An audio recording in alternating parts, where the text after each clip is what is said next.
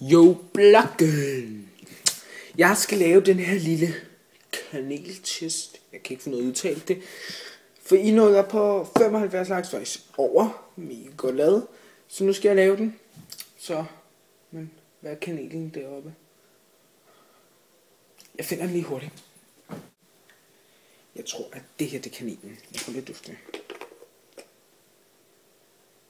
Det er kanelen.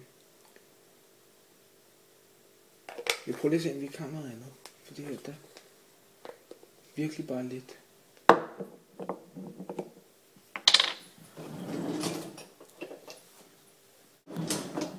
Ja, måske.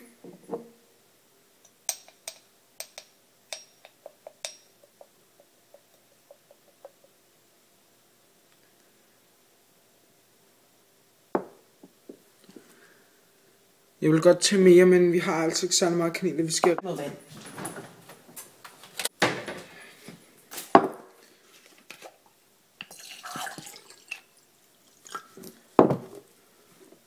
Okay.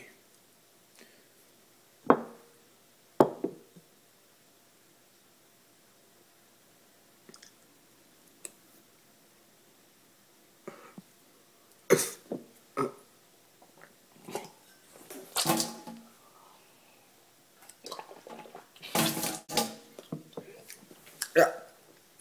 Fy for satan bare. Vi ses. Farvel blokken. Så blev jeg færdig.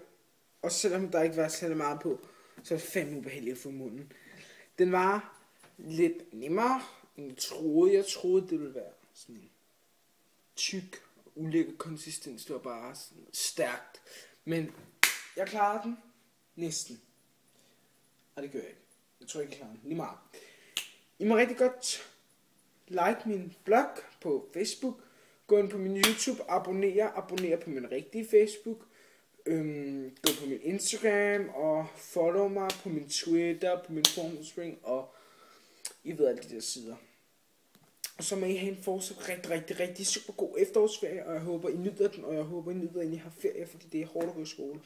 En rigtig, rigtig fortsat god efterårsferie.